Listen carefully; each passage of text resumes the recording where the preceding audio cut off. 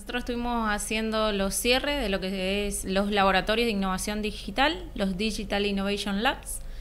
Eh, tuvo una duración de tres días con cinco jornadas.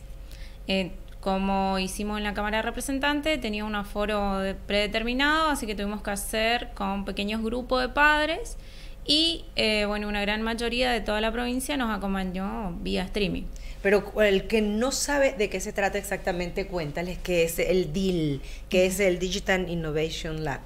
Eh, exactamente es lo que es básicamente programación e inglés para chicos de 4 a 17 años de edad. Dentro del mismo tienen distintos trayectos acorde a la edad y eh, distintas eh, formación acorde a su edad también. Qué maravilla. Eh, una de las prioridades viene a ser la programación y el inglés. Porque ambas van de la mano. Nosotros para programar siempre necesitamos de la mano del inglés entonces la idea es eso, incorporar este año, el año pasado fue la primer corte que tuvimos totalmente en pandemia y eh, incorporamos el año pasado a partir de seis años. Este año con la implementación de los chicos de cuatro años de edad. Me vas a decir muy temprano, ¿no? cuatro años de edad.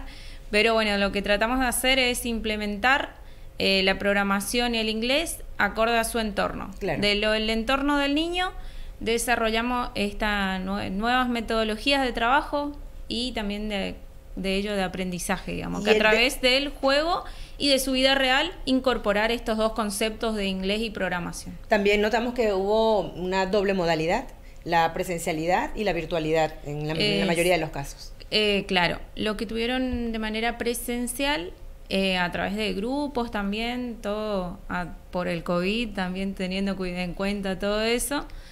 Eh, fueron los del trayecto de Kinder, que son chicos de 4 a 7 años de edad. La idea fue tener contacto con ellos porque son tan chiquitos y bueno, por ahí eh, incorporar esto de, la programación resulta más fácil desde una dinámica del salón que a través de una computadora. Evidentemente. y la, no deja de ser sorprendente cómo vienen ya con su nueva mirada del mundo. vienen con un chip incorporado, de tecnología, los niños hoy en día. Es así. más bien nos ayudan a resolver nuestros asuntos cuando algo no, no está allí dado en el teléfono. Yo, yo le consulto a mi hijo que tiene 11 años y da una respuesta rápida, sí. impresionante. Y así son todos. Exactamente, son todos. Así nosotros generalmente trabajamos con aplicaciones o algo. Cuando yo termino de explicar la aplicación, bueno, ayer vos estuviste presente. Fueron dos segundos la actividad porque la idea de ayer fue eh, hacer un intercambio, digamos, que el niño ayuda a la familia a hacer una pequeña actividad con una aplicación. ¿Y qué sucedió? En un ratito él ya le explicó a mamá y la familia pudo resolver de manera súper fácil eh, la actividad del día. Fue una linda interacción y en cada jornada de las que se desarrollaron para hacer este cierre de nivel, hablamos del DIL en específico y las tres, eh, digamos, las tres edades. Las tres franjas etarias que están abordando. ¿Cómo fue el acompañamiento? En el caso de ayer estuvo el vicegobernador acompañado de la diputada Rita Núñez. exactamente, ayer nos acompañó él, como era el cierre ya de, de, las, de las distintas jornadas que estuvimos trabajando en la semana, estuvo él presente. Eh, también destacar que estos cursos tienen una, una certificación de lo que sería la CESI, que es la Cámara de Software Argentino, y destacar que la diputada mandato cumplido, la diputada Flavia Morales, ella fue la que consiguió este convenio para lo que es la Universidad del Conocimiento y nos permite eh, certificar a todos los niños de la provincia con lo que es la Cámara de Software Argentino. Tiene una certificación, una validación de los cursos. Ahora hablemos de números, porque cada una de esas sonrisas también resguarda cada uno de los misioneros que ya se están preparando para esa universidad del conocimiento, que ya se están preparando para el, en el presente ya ser el futuro que merece Misiones.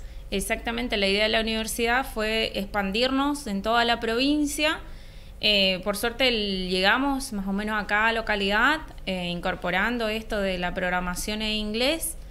Eh, ayer, como yo le decía, nosotros publicamos 3.000 niños y yo le decía al, vice, son 3.012, porque nos olvidamos los 12, le dije. y están en toda la provincia. tanto esto de lo que vino a hacer, digamos, la pandemia fue acelerar este proceso de digitalización, digamos, en la provincia, porque por ahí el hecho de tener una clase virtual era como algo extraño, hasta que llegó nuestro amigo COVID y aceleró este proceso, ¿no?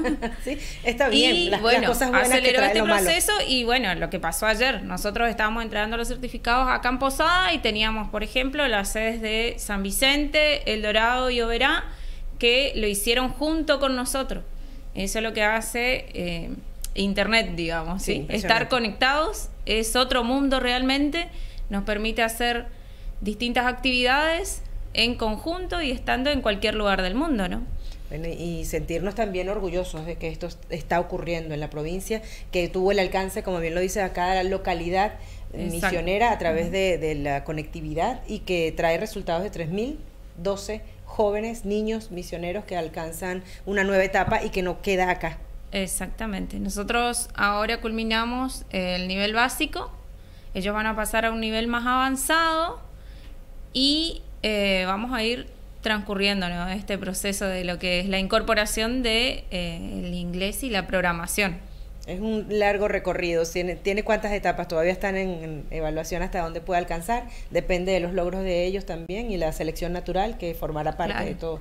Porque si bien sabemos que puedan elegir otras carreras, esto que están aprendiendo en, tanto para el inglés como para la programación, sirve para sus vidas. Exactamente, es por ahí incluir las políticas públicas que viene trabajando la provincia con todo esto de lo que vos nombrabas recién, de la educación disruptiva, después sale también la ley de Silicon, que la economía del conocimiento y bueno, todo esto que va apuntando a eh, lo que va a la provincia, ¿no? Claro, a lo Estamos que vamos. creando, como dice Flavia, siempre dice ella, el semillero, bueno, el semillero está creando lo que es la Universidad del Conocimiento, es eso, incorporar a los niños lo que se viene y lo que necesitamos para el futuro, ¿no? Claro, así mismo es. Bueno, y como ayer se reconocía, evidentemente todo esto es una idea que viene desde el quien tiene la responsabilidad en la Cámara de Representantes, desde la presidencia, y, ha logrado establecer en cada espacio este tipo de logros, con una visión impresionante del presente y del futuro. Exactamente, el, ingeniero Rovira eh,